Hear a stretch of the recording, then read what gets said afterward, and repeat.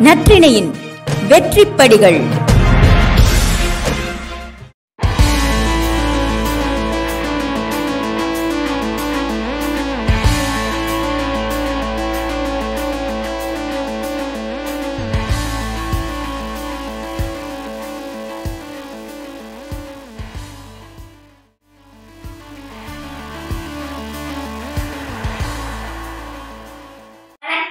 என் பெயர் சாய் சரவணன் நான் நான்காம் வகுப்பு படிக்கிறேன்.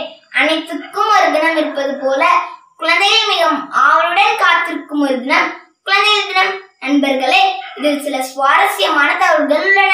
எனவே மிக கவனமாக கேளுங்கள். சுதந்திர இந்தியாவின் முதல் பிரதமரான பண்டிட் ஜவஹர்லால் நேரு குழந்தை மீது வைத்திருந்த பேரன்பை நினைவுகூரும் விதமாக அவரது மறைவுக்கு பிறகு அவர் பிறந்த தேதியான நவம்பர் மாதம் பதினாலாம் தேதியே குழந்தை தினம் வருகிறோம் நேருவின் மறைவுக்கு பிறகுதான் குழந்தை தினம் கொண்டாடப்படுகிறதா? அதற்கு முன்பு குழந்தை தினம் இல்லையா? அப்படி என்றால் அதற்கு பிறகு மட்டும் குழந்தைக்கான தினம் கொண்டாட வேண்டும் என்ற அவசியம் எழுந்தது எதனால் என்றெல்லாம் தொடர் கேள்விகள் வருகிறதா? ஆம் எனக்கும் வந்தது. அதற்கான விடை தேடும் முயற்சி தான் இது. ஜவஹர்லால் நேரு பிறந்தது ஆயிரத்தி எண்ணூத்தி எண்பத்தி ஒன்பது நவம்பர் பதினாலு.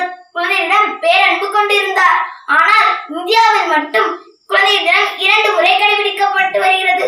ஒன்று எல்லோரும் அறிந்த நவம்பர் பதினாலு மற்றொன்று நவம்பர் இருபது. இந்தியா நவம்பர் இருபதாம் தேதியே குழந்தை தினமாக கொண்டாடி கொண்டாடியது.